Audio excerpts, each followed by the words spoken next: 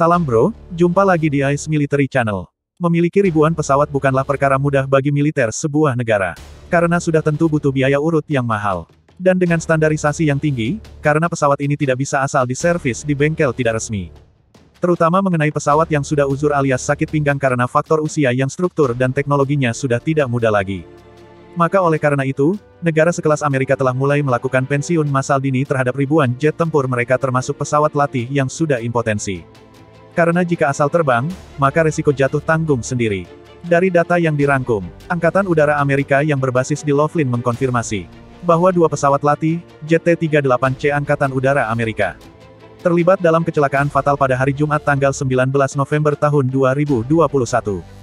Yang menyebabkan satu pilot mereka gugur dua pilot lainnya terluka. Angkatan Udara Amerika menyebutkan, sekitar pukul 10 pagi Jumat, sebuah kecelakaan yang melibatkan dua pesawat terjadi di landasan pangkalan Angkatan Udara Laulin. Satu pilot yang terluka telah dirawat, sementara yang lain dikatakan dalam kondisi kritis. Berdasarkan foto yang beredar di media sosial, kecelakaan itu tampaknya terjadi di dekat landasan pacu di instalasi. Itu mungkin terjadi saat kedua pesawat akan lepas landas atau mendarat.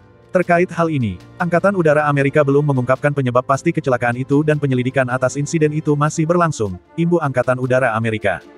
Dari data yang dirangkum, jet tempur latih ini, bukanlah jet tempur sembarangan. Jet tempur T-38 Talon yang dikembangkan oleh Northrop ini adalah pesawat latih jet supersonic twin jet pertama di dunia. Dengan dua kursi buatan Amerika untuk melatih pilot muda mereka. Sebelum para pilotnya menerbangkan pesawat tempur yang sering jatuh F-35. Bayangkan bro, Rusia memecahkan rekor tembak satelit luar angkasa. Turki memecahkan rekor penjualan drone ke-13 negara dunia dalam satu tahun saja. Dan sepertinya Amerika sedang disibukkan dengan rekor banyaknya insiden pesawat jatuh buatan mereka di dalam dan luar negaranya.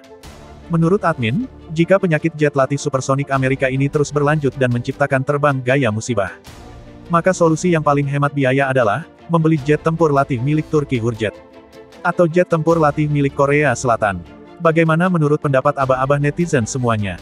Silakan tinggalkan komentar kalian pada kolom pesan di bawah. Terus ikuti channel ini untuk mendapatkan informasi terkini terkait perkembangan teknologi militer dunia.